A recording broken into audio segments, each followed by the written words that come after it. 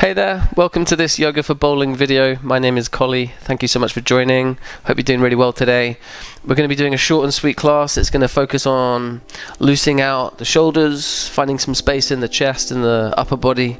Uh, whatever bowling that you do, maybe it's 10 pin bowling, maybe it's lawn bowls, maybe it's curling, whatever it is, you're going to do that same kind of crouching down action, which may cause a little bit of lower back pain. We'll think about easing that.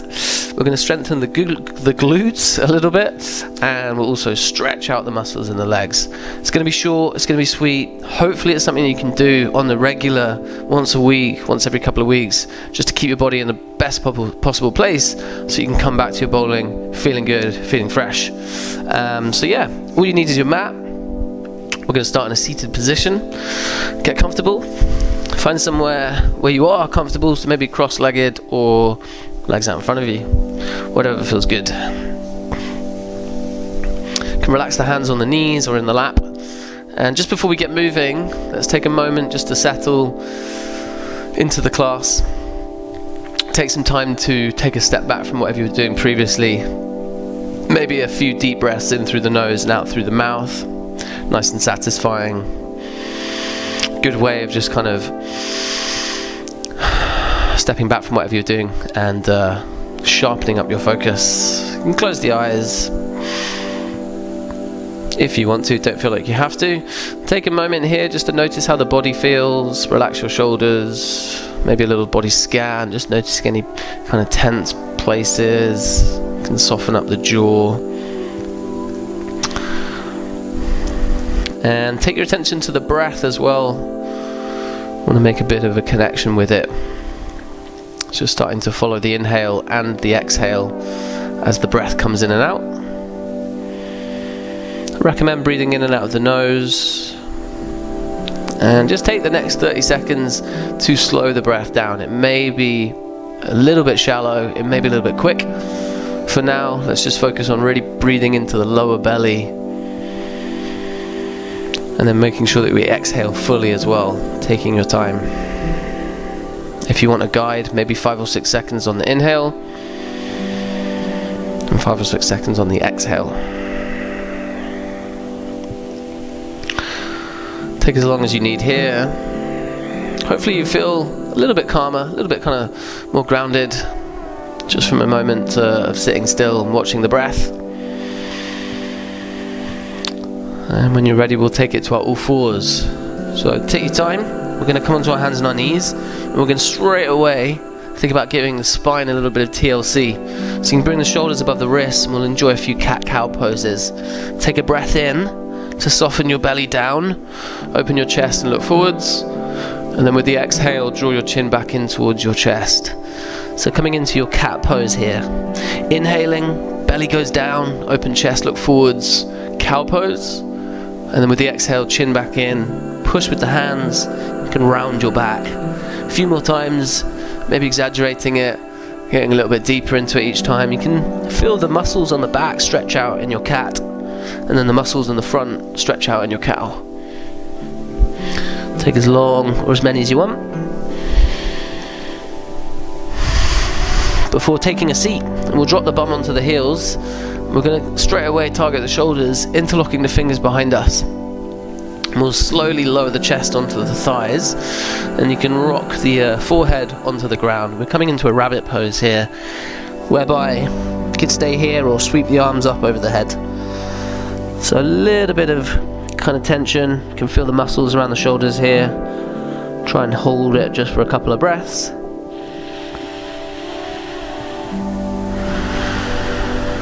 before relaxing, coming out of it. And we'll return to our all fours where we're going to just focus a little bit on the wrists and the hands and the forearms. Very important for, for bowling. Want to keep them in a good, good shape.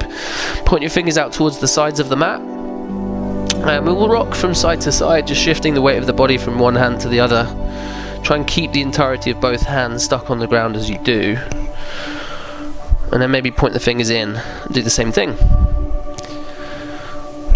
And then you can take it further if you want to. Point fingers back in towards the body. Slightly deeper stretch here. Can start to feel the forearms wake up a little bit. Rock forwards and backwards. And then deeper still, tops of hands down so the palms face up towards the face. It's a bit of a nasty one, that one. Take your time with it. And then go ahead and shake out the hands. So you could just take a seat, shake it out, get the blood flow going to your fingertips. Interlocking fingers, tracing figure of eight, always a good one. Loosen out the wrists there. Could be some good things just to do straight off the bat before you bowl. Just get your hands prepared. When you're ready, let's take the hands down onto the ground and we're going to lift up into our downward facing dog. So you can place the toes on the mat, lift the knees off the ground, and then suck in your tummy as you lift your hips high. And go ahead and pedal your feet out quite a lot. So you want to bend one knee and straighten the other leg. And then change sides. So we're just kind of bringing some heat into the muscles on the backs of the legs. Think of really kind of wagging the tail of your dog, sweeping from side to side. And then from there we'll just take some steps towards our hands, come to the front of the mat, standing forward fold. And I want you to bend your knees quite a lot. We're going to target the shoulders again, interlocking fingers here behind the back. And you can let the arms sweep up and over the head again. Maybe you can drop the head as much as you can, take a shake or a swing from side to side. And then relax the hands down and very slowly uncurl, come to a standing pose. As you stand tall, open out your chest fully, and we're going to lift the arms above the head before bringing your hands to heart center. So just enjoy that kind of lift up of the arms, stretching out, and then bringing your hands back to a central position. We'll take the fingers onto the lower back, fingers on the bum. We're going to take a little standing back bend. So you can take a spring in the knees, maybe push the hips forwards as you open out your chest. And here's where we're going to get some great space in the chest here. You can feel the pecs kind of broadly expand. Look forwards or look high, look behind you. Feel free to like come in and out of it if you need to, but it's a really great pose just to counteract any slouching that you do, whether it's bowling, whether it's just in your day to day, over your computer, phone, book, food, this is a great one to counteract. And we'll come out of it slowly, stand tall, and just go ahead and forward fold, drop the hands, and step back to your plank. Shoulders above wrists, push with the hands, want your back to be domed up to the ceiling. Look slightly forwards, drop the knees, relax the tops of your feet, lower your chest and your chin very slowly down to the ground, so with control and then find a cobra. So we'll press the hands and the feet on the ground as we lift our chest. And here, a little bit of a lower back targeting. Just take a moment just to notice how this feels. Feel free to come back down and then back into it, just to ease in a few times. You could look left, look right, give the shoulders a roll. Do whatever feels good for you, and then push back to a child's pose which is a, another great pose to find some space in the back. So you can drop the bum on the heels, take your arms forwards, maybe drop the forehead. This might be quite challenging for you, so you could tuck the toes so you're sitting on your heels and your toes. And then another option is to sweep your arms down by your sides. Little target of the spine here, you can relax the, the head there as well.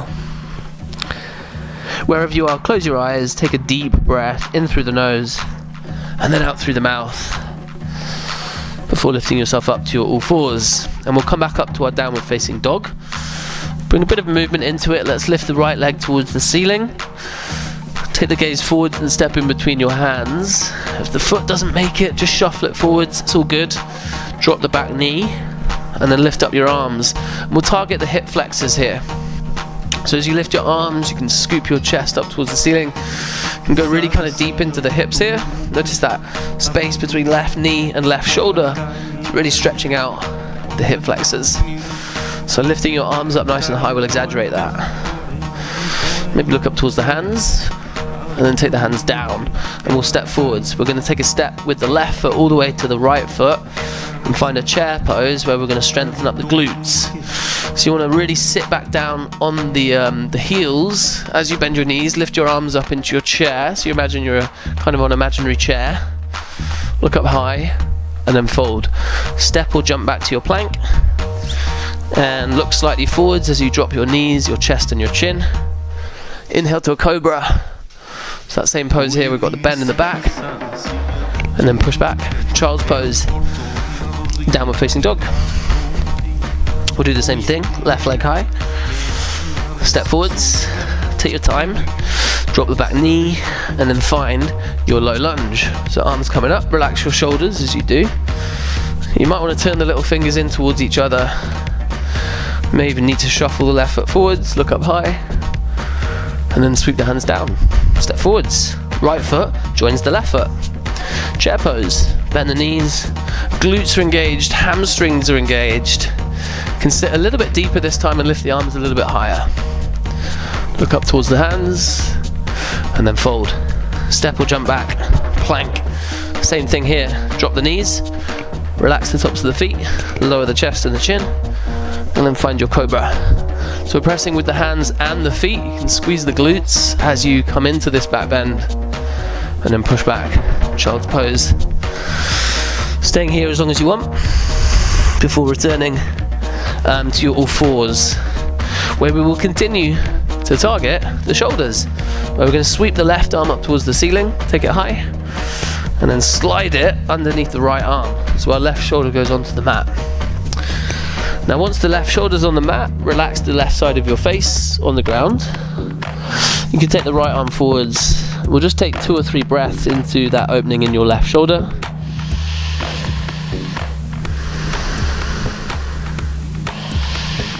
Before coming out slowly, and we'll roll straight into the same thing on the other side. So right hand high, take it nice and long, and then slide the arm under. Shoulder goes down, right side of the face goes down, and then you can take the left arm long. And try to hold it here for a little bit, three or four slow breaths. Before coming out of it with control. No rushing. We'll take it to a seated position from here. You can lift the knees off the ground, come into your downward dog, come onto your tiptoes, and then step or jump to a seat. Cross your legs as you go down, and then straighten them out in front of you. Can give them a little shake out if you want. We'll target the right leg first. We're going to bend the left knee and place the left foot into the right thigh. Have a little shuffle around so you can face your right leg. So shoulders want to be kind of square to the right leg. Breathe in, lift up your arms, look up high. And go ahead and bend your right knee quite a lot here. Forward fold, so chest smothers the right thigh. And you can grab the right shin with the hands or the right foot, look over your toes rather than at your knee. And breathe. Notice the sensations. And then come up. We'll just roll into it on the other side. So left leg straight, right foot comes in. Shuffle around, face the left leg. So you really want your shoulders and your hips to be kind of be square to the left leg. Lift up the arms, bend your left knee, and then fold. Look over left toes. Try and relax the shoulders. Soften face. And breathe slowly. We'll come out of it. We'll just do exactly the same thing, but on both legs. So straight legs, bend your knees a little bit, lift up the arms, and then fold. Grab shins, grab feet, look over toes. Try and draw the shoulders back down the back. And you can shuffle this, the heels forwards a little bit, shuffle the sitting bones back. Breathe. Before reaching along with your arms uh, above the feet, and we'll hover on down onto our back. We'll continue to get into the legs. We're going to stretch out the glutes here by bringing the right knee to the chest. Grab hold of the knee with the left hand. Sweep your right arm out to the right. And we'll gently draw the left knee, the right knee, sorry, with the left hand over to the left. So coming into a supine twist. An excellent position for your spinal health. As you twist the body, you kind of lengthen it. So you really want the neck to be long and you can kick the straight leg away from you. Look towards the right hand. And relax the uh, face, close the eyes. Just enjoy three or four breaths here. Noticing where you feel it the most. Perhaps it's in the glutes. Perhaps it's in the belly and the twist. Try and keep your focus. And then we'll come out of it slowly. Straighten out your right leg. Do the same thing on the other side. So left knee comes up. grab hold of the knee with the right hand, sweep your left out to the left. Now, if you find that your left shoulder is rolling over with your knee, bring the knee back up to middle and make sure the shoulder sticks down before taking the knee just as far as it'll go. And you can look over to your left hand from there. Really good one to find some length in the glutes, which I imagine will need a good stretch after bowling. And this kind of twisting will be perfect for the spine, which will help with any lower back pain that you might be getting from bending down all the time. Look to your left hand, breathe, and then come back to center and we'll bring both knees to the chest. You can grab your knees with the hands maybe some little circles with the knees loosen out the hips. And then one final squeeze wrapping arms around legs. Grab your elbows grab your knees whatever you can. Rock from side to side massage your back. And before sprawling your legs out down onto the mat. Let's take the arms wide and we're going to find our shavasana pose you can take any kind of shuffling and fidgeting, get that out of the way before finding a place where you're able to keep your body still. And relax the back of the head, let it feel nice and heavy. Allow the face to be soft. Just feel the legs and the arms drifting a little bit deeper into the mat. With your eyes closed, we'll enjoy a very short while here finding a bit of stillness, just letting the body go.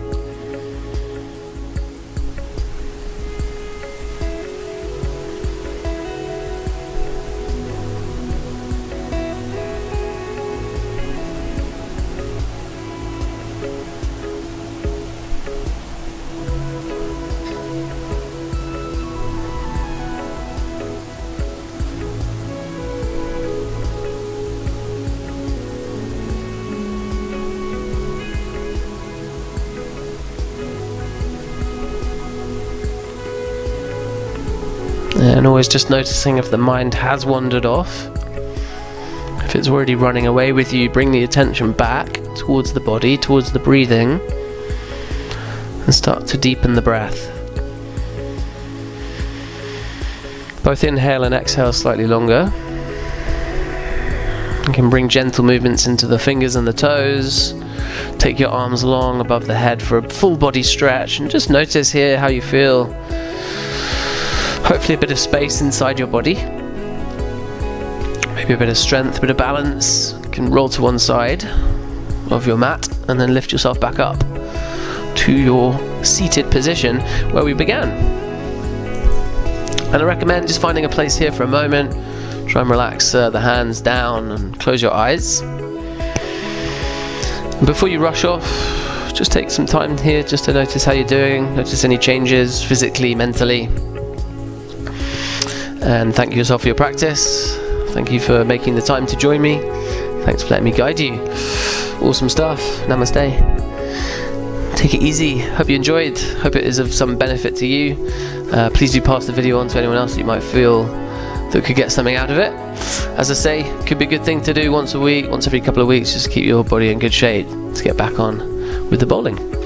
Um, have a look on the website. Please feel free to browse through any other uh, videos up there. Lots of good stuff. Um, take it very easy, whatever you're up to for the rest of the day. Hope you have a good one and hope to see you soon. Bye for now.